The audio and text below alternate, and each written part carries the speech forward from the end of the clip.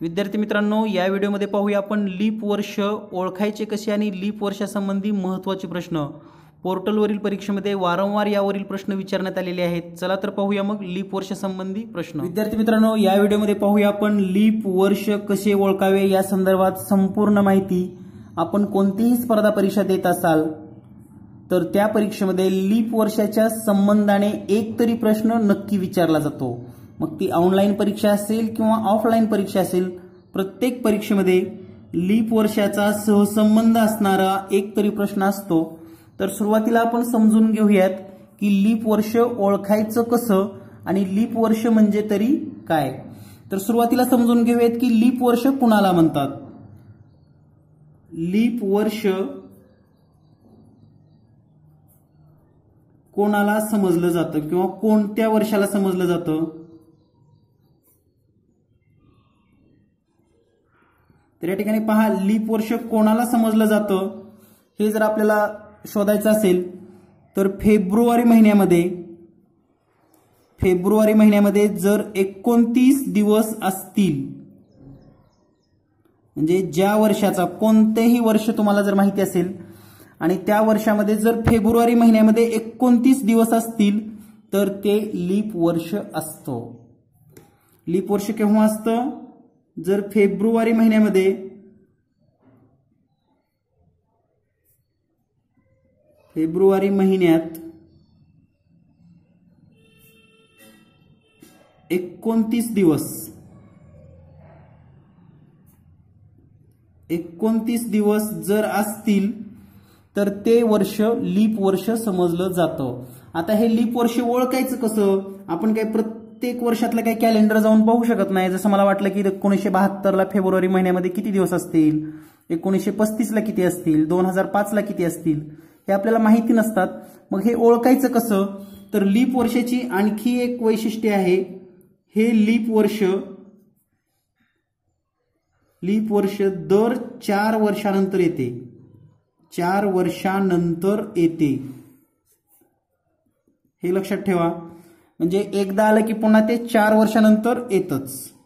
आता हे लीप वर्ष दर चार वर्षांनी जर येत असेल तर ओळखायचं कसं ते पाहूयात आपण. समजा एकोणीसशे ब्याण्णव. हे लीप आहे किंवा नाही हे कसं ओळखणार? लीफ आहे की नाही? तर त्यासाठी एक सोपी पद्धत अशी आहे. एकोणीसशे ब्याण्णवमध्ये हे शेवटचे दोन अंक मिळून ब्याण्णव संख्या तयार होते. या ब्याण्णवला आपण चारने भाग द्यायचा. म्हणजे ब्याण्णव भागिले चार सोडवायचे आपल्याला. तर चार एक चार चार दोन्ही आठ नऊमधून आठ वजा केले तर या ठिकाणी राहील एक. त्यानंतर हे घेतलं दोन. चारी त्रिकोण बारा. बारा बारा म्हणजे या ठिकाणी आलं शून्य. म्हणजे बाकी आली शून्य. लक्षात ठेवा बाकी खूप महत्त्वाचा भाग आहे या ठिकाणी. बाकी शून्य आली म्हणजे चारनी ब्याण्णवला पूर्ण भाग गेला. तर एकोणीसशे ब्याण्णव हे लीप वर्ष आहे. एकोणीसशे ब्याण्णव हे लीप वर्ष आहे. आणखी काही उदाहरणं घेऊयात की आपण लीप वर्ष ओळखायचं कसं? तर या ठिकाणी चारची कसोटी माहीत असेल तर लीप वर्ष ओळखता येतं. नसेल तर मग चारने भाग घालून आपण ओळखू शकतो. समजा अठराशे बेचाळीस. आता अठराशे बेचाळीस आहे का नाही हे ओळखायचं आपल्याला? तर ह्या बेचाळीसला आपण भाग घालूयात. चारनी तर चारनी भागत असताना चार एक चार. या ठिकाणी आले शून्य. पुन्हा घेतलं दोन. शून्याचा भाग बसेल. म्हणजे हे शून्य. म्हणजे बाकी किती आली या ठिकाणी? दोन. बाकी दोन आली याचा अर्थ चारनी पूर्ण भाग गेलेला नाही. बेचाळीसला. आणि म्हणून अठराशे बेचाळीस लीप वर्ष नाही. त्यानंतर आणखी एक उदाहरण घेऊयात. एकोणीसशे चौसष्ट. तर या चौसष्टला भाग घालूयात आपण आता चारनी. चौसष्ट भागिले चार. तर या ठिकाणी चारनं जर भागत असाल आपण याला तर चार एक चार या ठिकाणी सहामधून दोन वजा करूयात सहामधून चार वजा करूयात दोन येईल. हे चार या ठिकाणी घेऊयात. चारने भागूयात सहा. चार सख्ख चोवीस. म्हणजे या ठिकाणी पुन्हा हे शून्य शून्य. बाकी आली शून्य. शून्य बाकी. म्हणजे चारनी चौसष्टला पूर्ण भाग गेलेला आहे. म्हणून एकोणीसशे चौसष्ट लीप वर्ष आहे. आता तुमचं हे केव्हाच विसरणार नाही केव्हाही कोणतंही वर्ष विचारलं कुणी आपल्याला लीप वर्ष आहे किंवा नाही तर पटशिरी काय करायचं त्या वर्षातल्या शेवटच्या दोन अंकापासून तयार होणाऱ्या संख्येला चारनं भाग द्यायचा. आणि भाग दिल्यानंतर तुम्हाला लगेच लक्षात येईल जर पूर्ण भाग गेला बाकी शून्य आली तर लीप वर्ष आहे. बाकी शून्य नाही आली म्हणजे भाग गेला नाही लीप वर्ष नाही. हे आपण डायरेक्ट सांगू शकतो. हे झालं सर्वसामान्य वर्षामध्ये. आणि हे दर चार वर्षांनी कसं येतं? समजा आता एकोणीसशे चौसष्टला लिप वर्ष होतं. तर पुढचं लिप वर्ष एकोणीसशे अडुसष्ट आहेच. पुन्हा चार वर्ष एकोणीसशे बहात्तर आहे. पुन्हा चार वर्ष एकोणीसशे शहात्तर आहे. पुन्हा चार वर्ष एकोणीसशे ऐंशी आहे. पुन्हा चार वर्ष एकोणीसशे चौऱ्याऐंशी. पुन्हा चार वर्ष एकोणीसशे अठ्ठ्याऐंशी. पुन्हा चार वर्ष एकोणीसशे ब्याण्णव. पुढे चार वर्ष केलं तर एकोणीसशे शहाण्णव नंतर चार वर्ष दोन हजार नंतर दोन हजार चार दोन हजार आठ दोन हजार बारा दोन हजार सोळा दोन हजार वीस.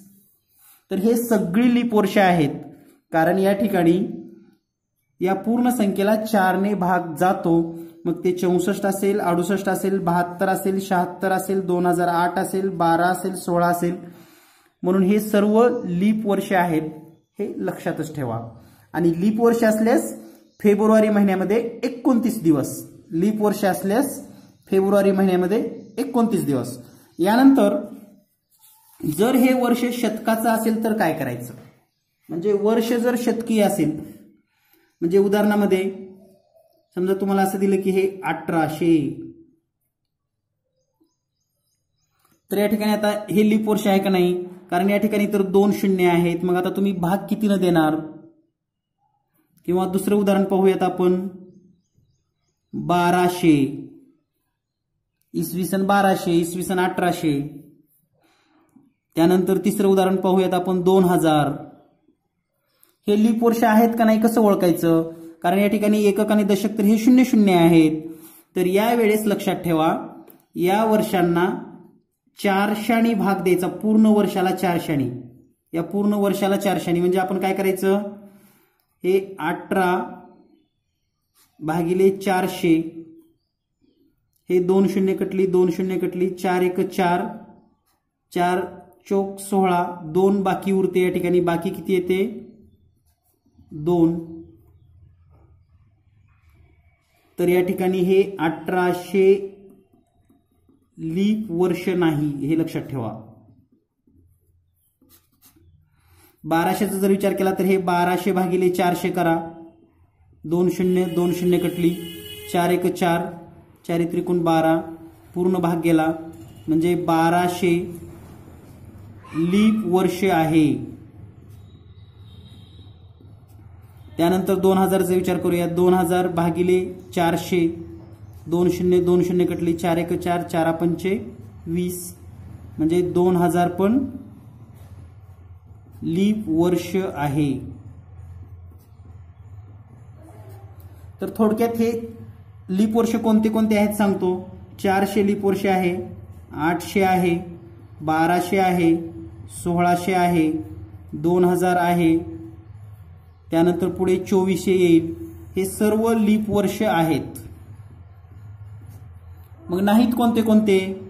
तर या ठिकाणी शंभर नाही दोनशे नाही त्यानंतर तीनशे नाही पाचशे नाही सतराशे नाही एकोणीसशे नाही. तर हे नाहीमधले आहे ते लक्षात ठेवा. म्हणजे जर शतकाचं वर्ष असेल शतक म्हणजे दोन शून्य तर हे चारशे वर्षांनी येतं हे लक्षात ठेवा. म्हणजे त्याला चारशानी भाग द्यावा लागतो. चारशानी भागावे लागते. तर या पद्धतीनं आपल्याला हे लीप वर्ष आहेत किंवा नाहीत हे या ठिकाणी ओळखता येतं. आणि या ठिकाणी लीप वर्षाचा एखादं उदाहरण सोडवताना नेमकं कसा फरक पडतो ते आपण पाहूयात पुढील उदाहरणातून. तर एक उदाहरण घेऊयात आपण लीप वर्षाचा नेमका कसा फरक पडतो ते आपण पाहूयात. पहा. दोन जानेवारी दोन हजार एकला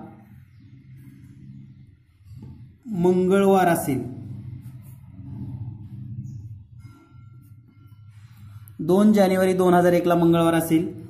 तर दोन जानेवारी दोन हजार दोनला मंगळवारच्या पुढचा वार येतो म्हणजेच बुधवार येतो हे लक्षात ठेवा. छोट्या छोट्या गोष्टी आहेत खूप महत्त्वाच्या आहेत.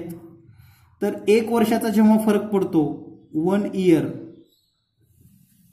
एक वर्षाचा जेव्हा फरक पडतो तेव्हा एक दिवस वार हा पुढचा येतो. मंगळवारच्या पुढे बुधवार आलेला आहे. तर या ठिकाणी हे दोन हजार एक आणि दोन हजार हे तर या ठिकाणी दोन हजार एक आणि दोन हजार दोन हे सामान्य वर्षे आहेत. सामान्य वर्ष म्हणजे कसले? तर हे लीप वर्ष नाहीत. आता हाच प्रश्न वेगळ्या पद्धतीने जर परीक्षेमध्ये आला तर कसा येतो पहा? समजा दोन जानेवारी दोन हजार चार ला हे सगळं समजायचं आहे लक्षात घ्या. त्या दिवशी हेच वार आहेत का नाही माहिती नाही आपल्याला समजायला लागलो होतो आपण. समजा दोन जानेवारी दोन हजार चार ला मंगळवार आहे.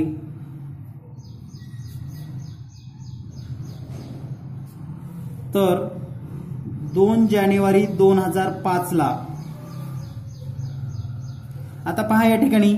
एकच वर्षाचा फरक आहे दोन हजार चार दोन हजार पाच. इथं पण एकच वर्षाचा फरक होता. तर या ठिकाणी मंगळवार नंतर काय आला होता? बुधवार आला होता. तर आता या ठिकाणी मंगळवार नंतर बुधवार यायला पाहिजे होता पण या ठिकाणी हे लीप वर्ष आलेलं आहे दोन हजार चार.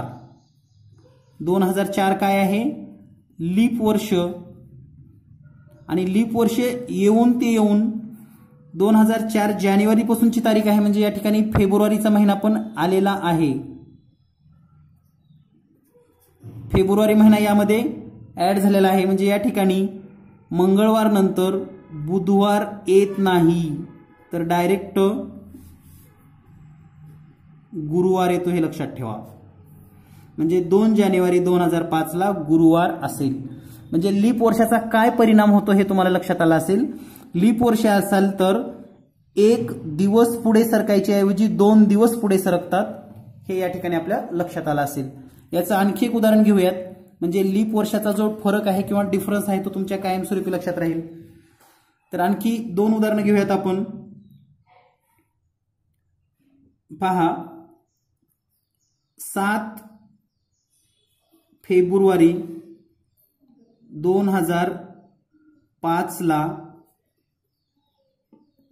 बुधवार आहे. तर आपल्याला शोधायचं आहे सात फेब्रुवारी दोन हजार दहाला कोणता वार असेल? तर या ठिकाणी पहा पाचला बुधवार आहे तर दोन हजार सहाला गुरुवार असेल हे लक्षात ठेवा. दोन हजार सातला शुक्रवार असेल त्यानंतर दोन हजार आठला हां या ठिकाणी तुम्हाला विचार करायला थोडी संधी आहे की आता दोन हजार आठला कोणता वार असेल? लक्षात घ्या तारीख आहे सात फेब्रुवारी. सात फेब्रुवारी दोन हजार आठ याचा अर्थ इथं आणखी एकोणतीस फेब्रुवारी यायचं आहे एकोणतीस फेब्रुवारी आणखी आलेला नाही. म्हणून या ठिकाणी शुक्रवार नंतर शनिवारच असेल हे लक्षात ठेवा. आता दोन हजार आठ ते दोन हजार नऊचा विचार करूयात. तर या ठिकाणी एकोणतीस फेब्रुवारी तारीख येते. सात फेब्रुवारी दोन हजार आठ ते सात फेब्रुवारी दोन हजार नऊ मध्ये एकोणतीस तारीख येते. म्हणजे या ठिकाणी आता शनिवार नंतर रविवार येत नाही तर सोमवार येतो.